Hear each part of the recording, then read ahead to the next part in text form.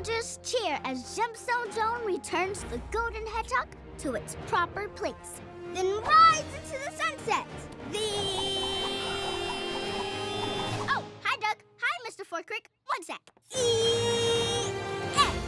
Ooh, that was a lot of happy spinning. You must have really enjoyed that book. Enjoyed it? I loved it.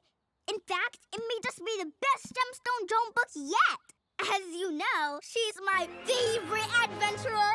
I can't wait to go to the Mega City Library and return this book to Miss Molly, the librarian. Then check out the next Gemstone book.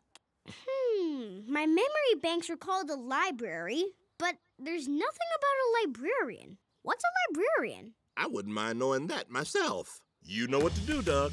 Plug in and find out.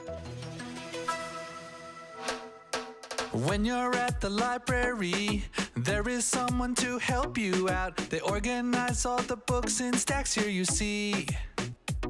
Yeah, ooh, I'll help you find all the answers you need. Librarian, librarian, on. They create a space where everyone comes for the love of books. Librarian, on, oh. Fact or fiction, learning or fun. See your local librarian. I see. Librarians do all kinds of things to make sure the library runs smoothly. But I still have one big question. What do you do at a library? You find books to read, Doug. And I'm gonna head over there and find the next Gemstone Joan book. Wanna come with me? Sure, Emma. I'll even give you a ride. Hop on.